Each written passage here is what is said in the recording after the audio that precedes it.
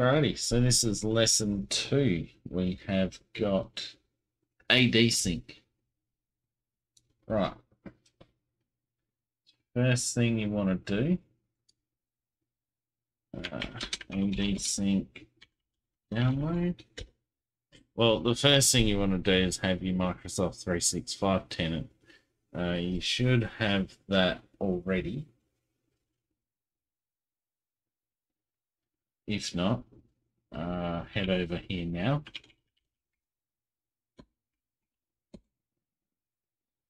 Uh, if I develop uh, uh, right, develop a program and join that. Set yourself up a free developer in instant sandbox. If you've already got yourself a Microsoft 365 tenant, good stuff. Uh, right, so you want to come and get this one.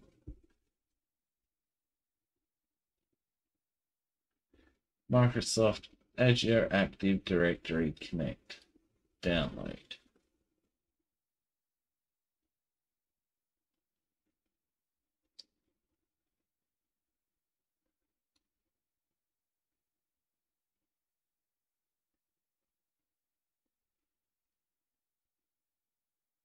Now, if you want to skip all the server side stuff, you can. And you don't need to worry about sync. You can just be straight in that uh, 365 environment. But, yeah. yeah. Let's go. Uh, right, customize. We want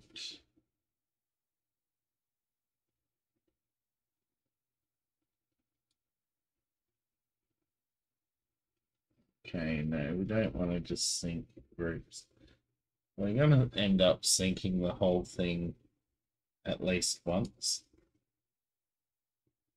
Uh, I want to go back. Oh no, got Express. Cool. right,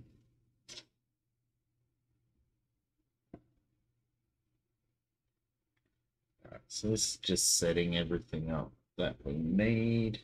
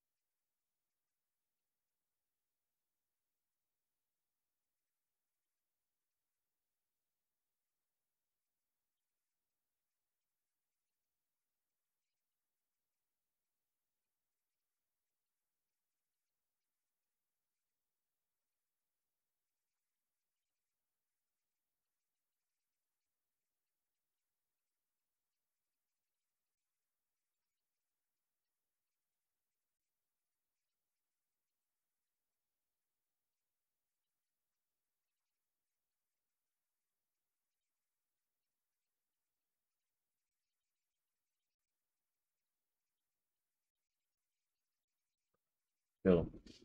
So first thing we want to do, uh, you can have password hash sync, right? So that allows them to sign on to the cloud environment with the same password they use on-prem. Uh, or you can set up pass-through.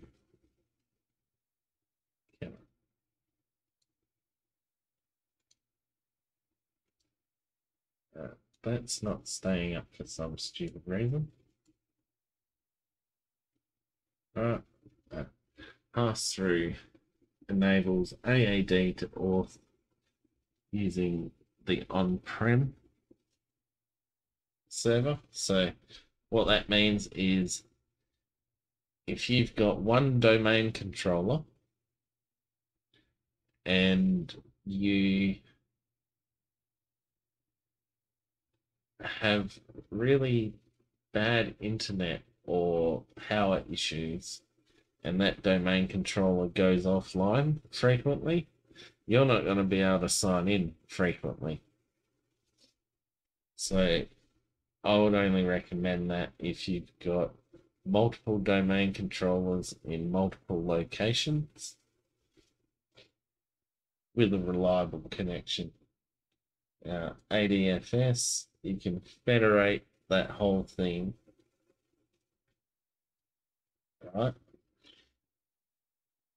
What a federated signing means, you can use another service to authenticate into Microsoft 365. So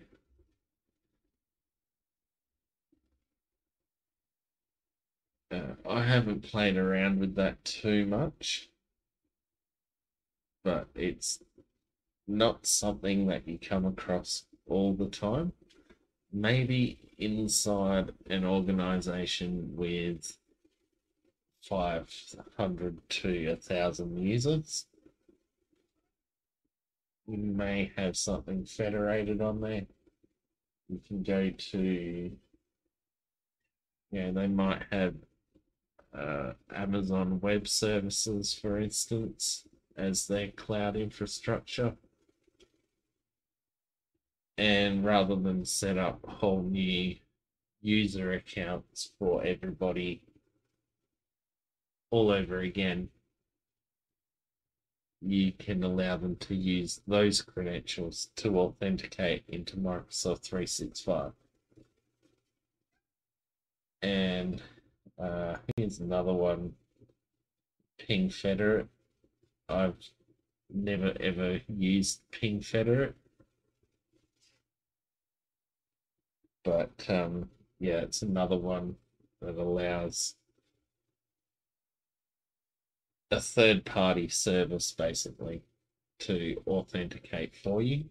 We're going to go with password hash synchronization and enable single sign on. Alright, so what that does, we're going to create the users in Active Directory. And that's going to sync those users to Microsoft 365 using those same credentials and either service can authenticate that user. And when we have single sign-on, depending on how our device uh, how our devices are joined, so if we get a server and we domain join our PC, all the Microsoft 365 cloud apps, such as Office, uh, you see, you got like Word, Outlook, etc.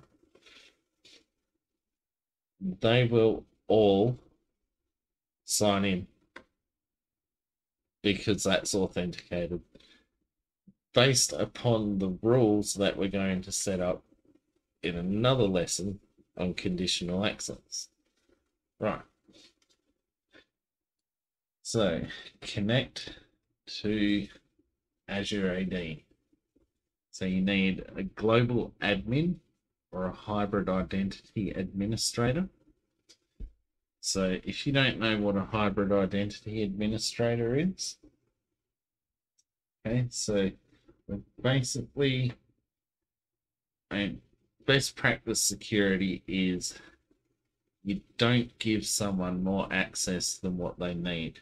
So if someone needed you know access to a shared folder, you don't just give them domain admin access to allow them, you know, yeah, they'll be able to get into that shared folder. But why would you make them a domain admin? So, in saying that, if you're in a corporate environment and it's your job to decide what level of access to give someone. In order to set this up, you know, even if you just created a brand new service account just for Azure AD Connect, you can give it just that hybrid identity administrator role, and that's all it can do. So if you're going for best practice security, you would want to go create that account. Fuck, let's go do that now. Uh, right, where are we? So I'm going to sign into my global administrator account.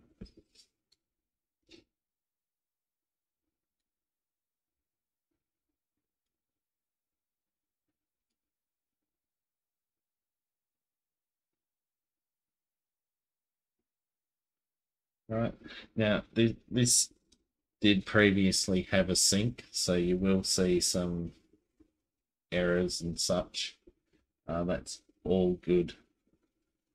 Um, but yeah, I'll show you that. Go add a user. So AAD yeah. keep it uniform. have it yell at me.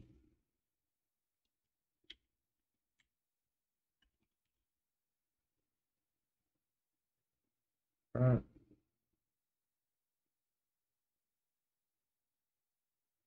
Um, no, let's let's make it just a service account.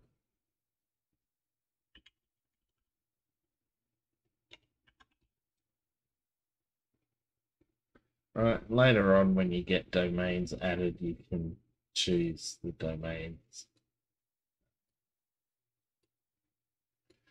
Right.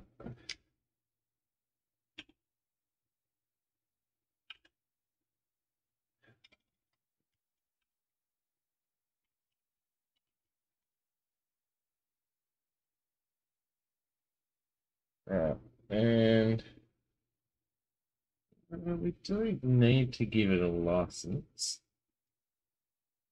It doesn't actually need anything. Roles. Right. Admin Center access. We should have.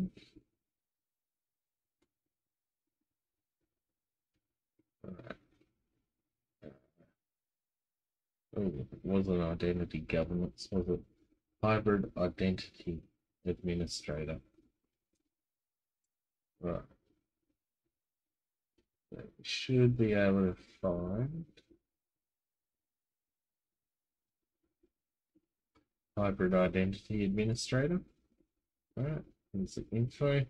Full access to manage AAD Connect cloud provisioning. Alright. Now, as this service account becomes more useful, as in we're going to give it more access to more services and roles, we can just add those roles rather than make a new user account for each one.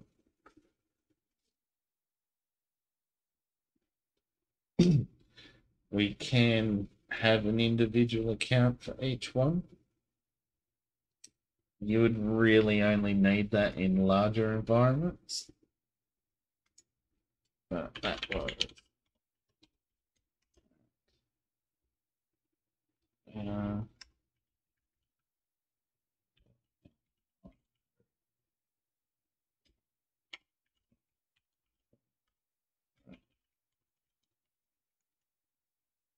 all right. that will just go through, sign itself in, verify it's got correct access. Right, now directory type, we've got Active Directory, that's the forest. So we want to use an existing AD account. So this must be an enterprise admin.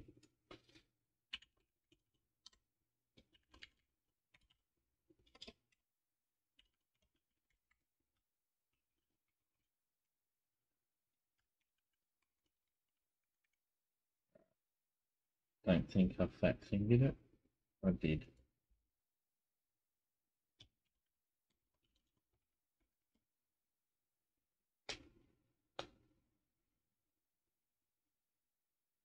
Hmm.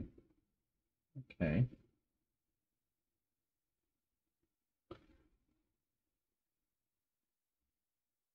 Never seen that one before. Um, okay.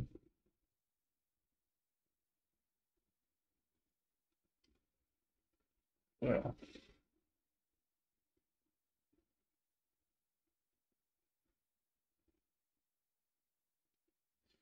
Right. Okay.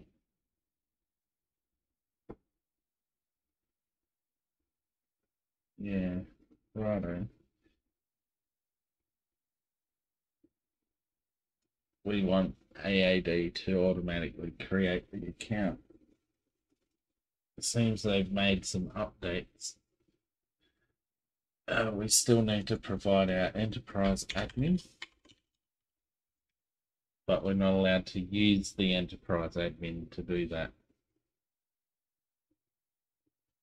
Right, so we have got our directory or our forest in there. So we go next. AAD sign in. So this domain will be not verified if you've got a domain name that matches, which I do, but unfortunately it's tied to another 365 tenant. So I can't pull it into this one. Uh, right. So select on-prem attribute to use as the AAD username. Pick user principal name. Right. Continue without matching all UPN suffixes to verified domains. That's okay. Users will not be able to sign into AAD with on-prem credentials if the UPN suffix does not match a verified domain. That's okay too. That just means you have to use the on Microsoft.com as your username.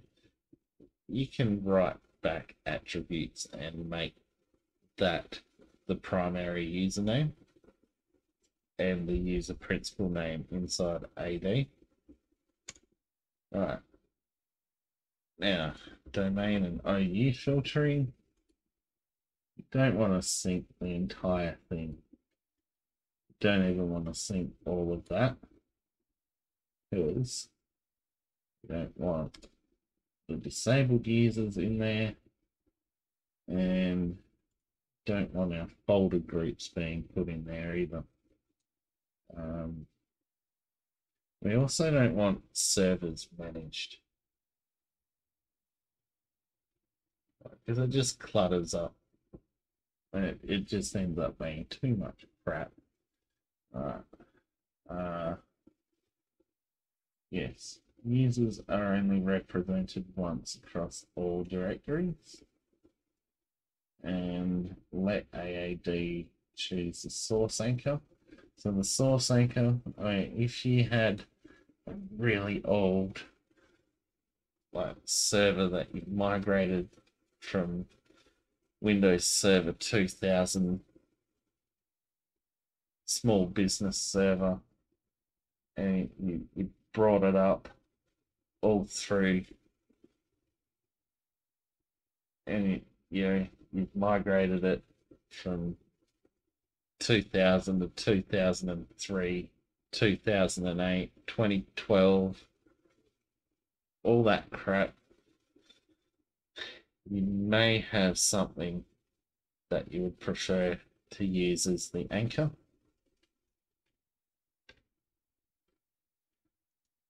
but you're better off in most cases. Just let Azure manage the source anchor. Right. Now you can uh, put some filtering in as well. Uh, you don't need to. You can just because we've already picked what directories we want. So if you don't want something synced, don't put it in those directories.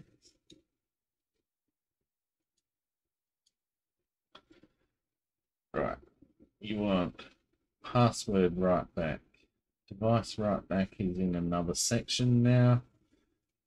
Extension attribute sync. Right, group write back. Right, so that's giving us a warning because we haven't installed our Exchange AD schema. That's okay. You can go group write back and then AD app attribute filtering. Yeah, you want to put that on. Right, so this allows uh, domain accounts to be configured for this these services basically. Um, I don't see any point in turning them off unless you absolutely do not want to use this particular service, but it can be handy. So next we go attributes. So all these attributes will come across to Azure AD. And now you can pick directory extensions. Up to 100 of them. Alright, so uh, let's see.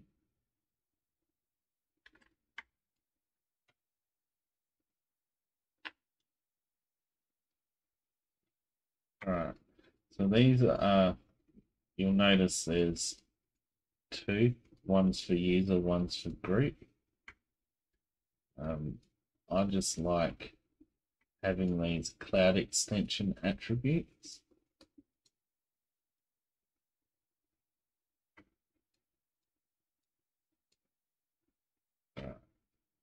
Add all of them. Yep, cool. Now, group write back. No AAD schema for exchange. Yes, we already know that. That's fine. Now you pick the destination where you want that to go. Uh, right. Probably should have Right.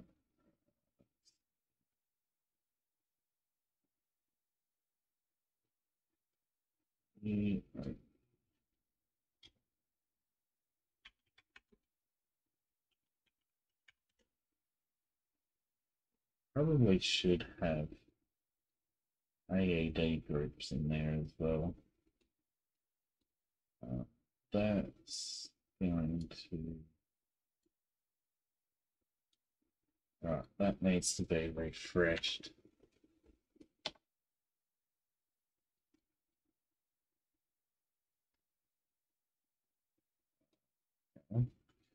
Back.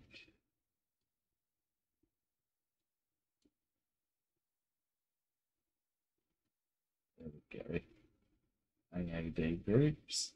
Say it's in LDAP. Speak. Right, cool. Single sign on is done. Got a tick so we don't need to enter the credentials.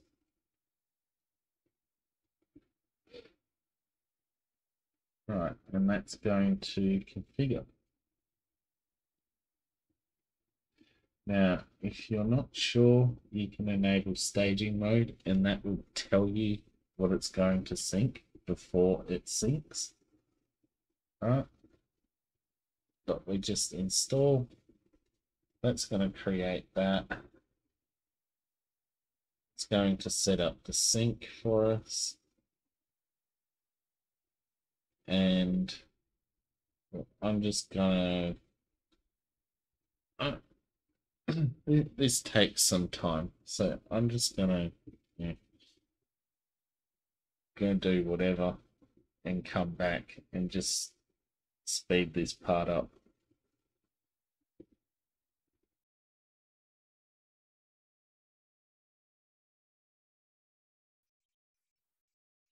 All right, cool.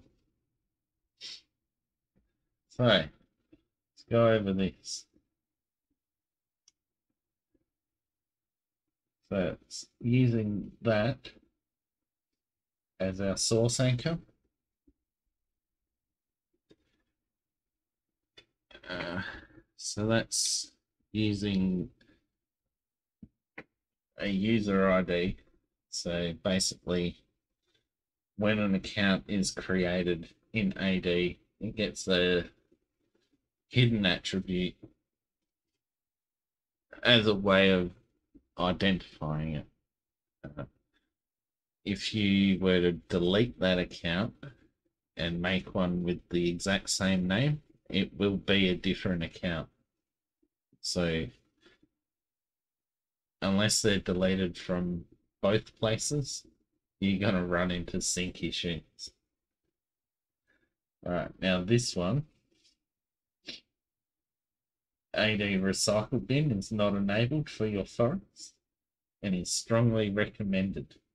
So that's if you accidentally delete something, you can get it back. Uh, only way you can get to that is under AD Admin Center. Right, and you click over here and you go enable recycle bin. Right. And that will take a few minutes to enable. And then you're all good to go. Uh, right, so it's still complaining. we need to configure the Federation service. Uh, I don't think I don't think we're quite ready for that yet. Because I mean, the only reason we want ADFS for the time being is so that we can take advantage of the health reports from Microsoft 365. Uh, right.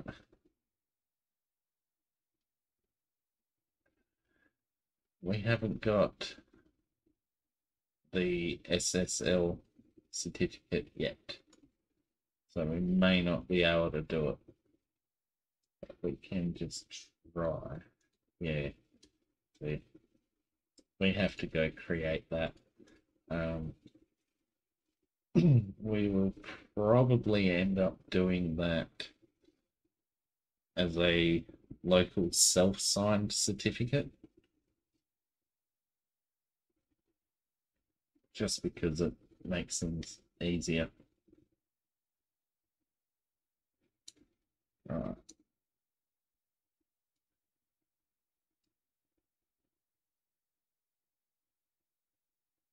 Yeah, yeah. So that that's going through, doing its thing. Um, the main thing you want to do from this point is just install any and all updates that appear under here.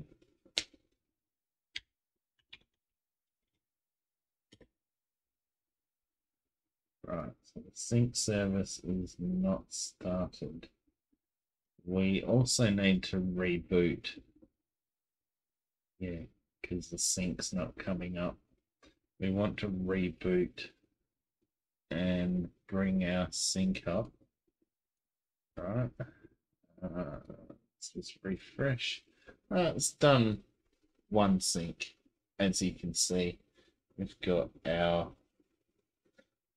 uh, there's our admin account and there's our user account. So I guess because it's not really that complicated, we can throw this on its own. Let's just assign a license. It's as simple as that. You come in here, opens up the user account info, and here you can see the username. when we get our domains added, this will be very different. Uh, so there's the groups that it's part of. These are these are Microsoft 365 groups. Right, so I come into here, so you want to come to identity. That opens up your Entra Admin Center, formerly known as Azure AD. As you can see here, upcoming Azure AD rename. Right, so that brings us to uh, let's say groups, all oh, groups. Now, I don't know why there are two Microsoft 365 groups.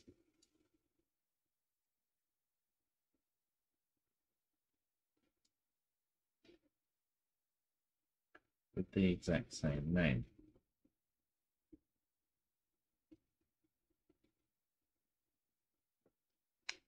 It, makes no sense whatsoever.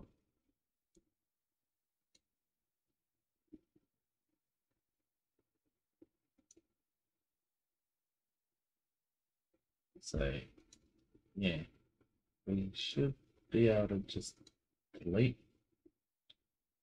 Yep. Now it's not instant.